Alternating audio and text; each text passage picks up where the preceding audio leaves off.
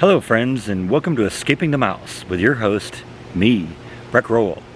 Alright, we're going to do something today I've been trying to do for a couple months now, I wanted to do for a couple months and just haven't really been ready to try it.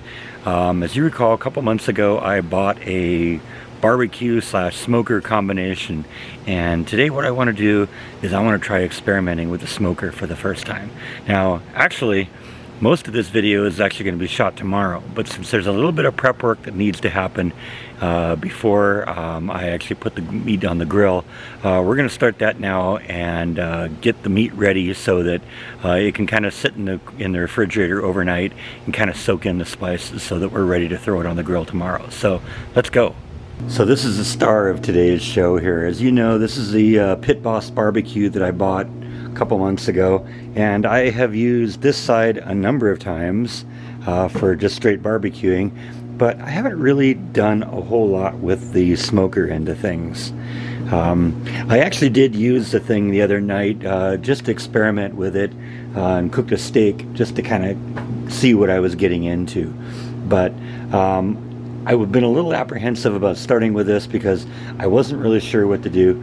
But I've watched some videos online, and including a couple of Jeff Kidd's videos on smoking, and um, I think I'm ready to try this. I've got some beef ribs, and uh, we're gonna do we're gonna cook beef ribs on the smoker, and uh, it's a I think a probably a multi-hour affair. But we need to start by preparing the meat, uh, by putting the spices on the meat, and letting it sit overnight. So let's go in the house and get ready. So these are the ribs I chose. Uh, I thought they looked really meaty. It's actually two racks of ribs, uh, so we're going to cook them both.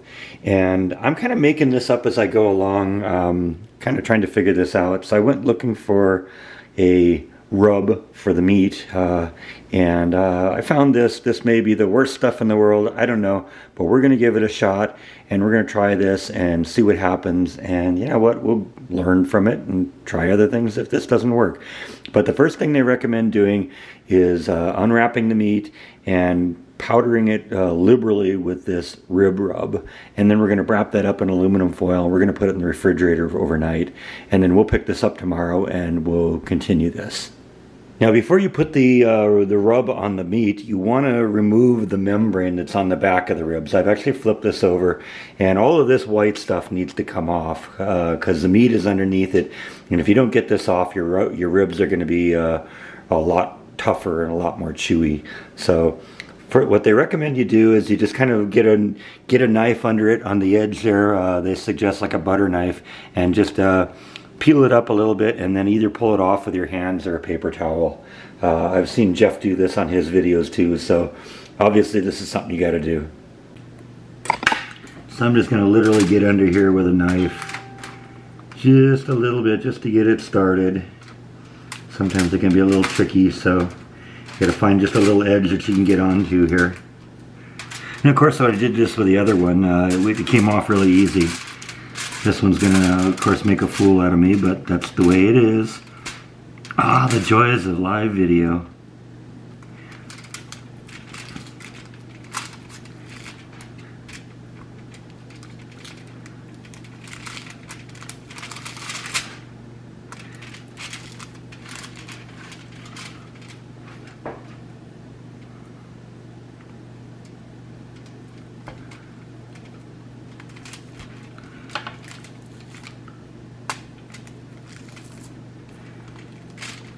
And then we're going to thoroughly coat both sides. They say do it generously. I think the reason, a big part of the reason they say it, do it uh, generously is because they just want you to use more of their products so you buy more. But that's okay. I'm going to follow the instructions anyway, and we're going to do it real generous.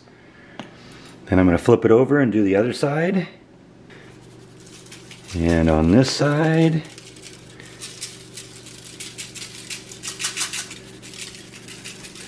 I'm going to make sure to get a little bit on the uh, in the in the wrapper too, a little bit in the foil too, so that when we do it, we're also coating the sides. All right, that looks pretty good, huh? All right, let's wrap this thing up, throw it in the fridge, and in 24 hours, we'll be ready to throw this thing on the grill. And now they're all wrapped up, and let's throw them in the fridge for the night. We'll come back to these in 24 hours, and then we'll finish this video up. So I captured another little intruder in the house. This one's tiny. Look at the markings on that one. He's about an inch and a half long. He's just a baby. I don't know if they all look like that when they're babies and they just kind of get more uniform colors when they grow older or if this is just some species I haven't seen before. But whatever you are, you're a looker. It's 21 hours later, the meat's still in the refrigerator soaking in the rub. Um, and I'm going to start preparing the grill here. First thing I got to do is I got to start heating up the grill and I'm also going to use the uh, meat probes uh, that come with it because that's a very useful little feature. And since the recipe calls for cooking the meat until it reaches a specific internal temperature hey I've got the probes let's use them. So I got to string the probes up. I've never used them before obviously because I've never really used this side of the grill. So fortunately there's this nice little hole on the side here where the uh, cords go through and then they just kind of plug right onto the control panel of the uh, of the uh, grill itself. So I'm going to string that through and I'll catch up with you in a minute. So I got the heat probes all set up now. Uh, they're plugged into the individual ports on the control panel. They're running through the little hole, the little access hole in the side of the barbecue, and they're actually ready. They're sitting here ready to be uh, plugged into the meat uh, as soon as I put the meat on. So first thing I got to do, according to the instructions, is we want to power up the grill and set the temperature for 250 degrees. And so that's what that is. We're setting up for 250 degrees and uh, it's registering the probes right now. They're registering the good, the same number, which is a good thing because they're sitting right next to each other. I hope they're uh, re registering the same temperature. So uh, we're gonna let this thing heat up and let's go and take a look at our meat. Oh yeah, that looks like we got a good start here. This is going to be good. So I'm just going to let these kind of uh, rest at room temperature a little bit because they're in the refrigerator and they're a little bit cold. Uh, and we'll do that while we're having the grill warm up because that's going to take a little while too. Because that's the key ingredient to making good smoked ribs. You got to do everything really slowly. And as you can see, the key ingredient to smoked uh, ribs is the smoke, and the smoke is coming along nice. And just in case you wondered, we're going to be smoking these with hickory pellets. And I filled up my hopper almost all the way up to the top here. Uh, we're only going to be cooking this for about three hours, so I won't need a full hopper of it. But this should keep us going for a while. Yep, the temperature's going up pretty quick. It's already up to 210 degrees, 215 degrees. We'll be ready to put this on in just a couple minutes. All right, so we're up to 250 degrees, so we are ready to do it. So I've already started bringing the meat out here. I've got the first probe uh, put into the first uh, rack of ribs and as you can see it's reporting correctly because it's been in the refrigerator so it's 55 degrees internal while the other probe is at 75 degrees so let's throw this first one on here. Alright, here we go. Uh, both of them are on. The probes are both in here. And so let's uh, just let it cook for a while and see what happens. See you in a couple hours. Two hours have passed by now, and so we're going to come check in on our uh, ribs. Yep, they're starting to look pretty good. Uh, you can tell the meat's kind of pulling back from the bone because the bone's sticking out a little bit more than it was uh, when it was uh, when it was cold. So that's good. That's sort of what we want to happen.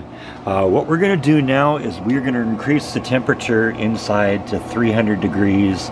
We're going to cook it for another uh, another uh, hour or so until we get an internal temperature of uh, 205 degrees. So we're going to watch this. We're also going to flip it about halfway through.